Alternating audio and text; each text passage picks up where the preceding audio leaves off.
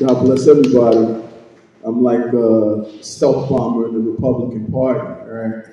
I'm running for state assembly for District 27 in Queens. As you know, that section is where uh, uh, John Liu is at, and Gracie Meng, Congressman, and Sabeski, but Sabeski ran away, and John took her place.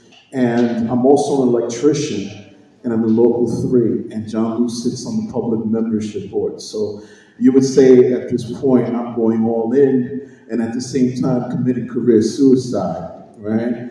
But I believe in New York. New York is my home. I'm from the Dominican Republic. I emigrated uh, from there in, in, the 70s. My mother came, and her first job was working in the factory. But one of the things that she taught me was that I had to work hard right? I had to work hard and earn my way up instead of going into the welfare system. My mother made sure that she stood out of welfare, even if she took what she needed out of it, but she made sure that I would just have the drive to hustle in New York because New York is all about hustling. It's all about the hustle. It's all about making it here, here because New York is like the first port city for the whole world to come over here. And the way the Democrats and the socialists and the communists are doing. They're trying to destroy, they're trying to close that door. Because if New York City, New York State falls, the whole nation falls, to be honest. Because there's no other state that's out there that be so accepting to other immigrants, no matter what, where they come from, whatever background. This is the first place they need to go, right? To start. And then they, from here, they go out to any other place and live the American dream. What these people want to do is change the American dream into a nightmare. And we're seeing that nightmare every, every single day for the past six years. And it got worse during these past three and a half years. I got into politics because I was at home and they were saying who was essential and who was not essential. They called me up and they said, Angelo, you can go to work. Well, everybody I knew, they couldn't go to church, they couldn't go, they couldn't open their small businesses. The reason why they said I was essential is because I'm an electrician and, and, and work in construction, so you can go in there. And I said to myself, who is government to tell me whether I am privileged or not, or give me my privileges? Like as though they, they can give us the permission to be somewhere. What I started to realize is that this country, this United, this New York, is transformed into a dictatorship right? Without knowing, you start saying, you can't go over here. You have to wear the mask. If you don't have these shots, you can't work. I said, you know what? I'm not going to take these shots because it's my right as an individual. And my family and people turned away from me. One day I did get COVID. And I went to the hospital for six days. I was in the, you know, it was it. I, they found me on the ground in my room. Thank God. I went through five or six days and I recovered in three days, right? I, I, still had to have an oxygen tank. And after all that, they came out and they said, well, Angelo, you see, COVID exists. Are you going to take the shot now? I said, no. Because what can't kill me makes me, makes me stronger.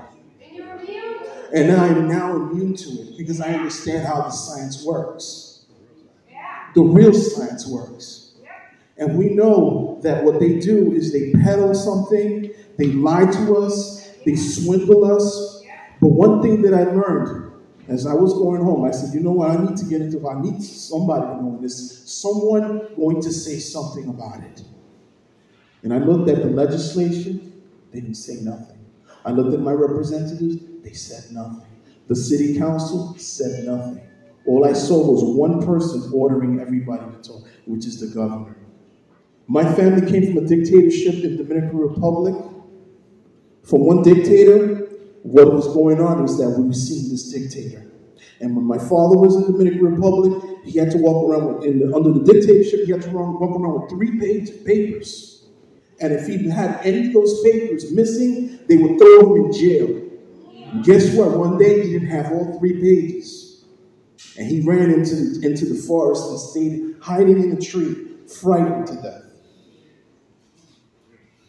You know, and it was That was how it was. He stayed there for the whole night until they gave up looking for him. And it was in 1965 that the United States of America sent the Marines and the military down to the Dominican Republic. Way after the dictator was was was was, uh, was uh, assassinated, um, there was a power struggle between communism and, and, and, and, and capitalism. The communists were starting to gain power, and the United States went in there and stopped it. Today, what is going on? It's the opposite. No one is stopping the socialism and the communism that's happening here in the United States. Where's the military? Where's, where's people who started to accept it as a norm? But to me, it's not a norm. Because I'm out of this system. I think out of the box. And that's why I want to be a voice to my constituents. Because a lot of people are afraid. I'm not afraid. I'm not afraid. In New York, it's all about being tough. For some reason, these people have educated these young kids and they don't understand what it is to hustle, what it is to work hard, what it is to grind.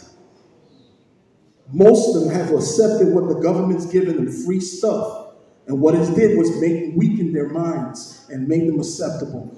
But I'm here to say that I know that New York is my home, and this place needs to, needs to needs to be cleaned from the bottom up, like he said. It has to start from the bottom up, from the local government, from our local areas, county committeemen, uh, going out there, knocking on doors. If I have to do it by myself, I'll do it by myself. Like the lady was saying, it's hard to raise money. I'm a, I'm a Latino black Republican, right? And have how many Republicans has reached out to? And you know what I said? Um, the one that's that's guiding me is God. And the one that's blessing me is God. I got a big donation of over $800 in one day this week. And I said, you know what? That, that just helps me along. That helps me along because I believe in, in New York. I believe in the United States. I'm an American citizen. And I will fight for this nation if I have to. And we and, and just to end it all, we have to we have a medical freedom alliance. We have, we have armies and groups of people that have gathered and walked over the bridge last year.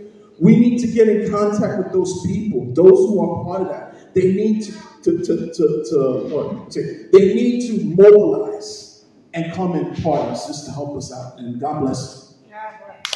Thank you, Angelo. Angelo.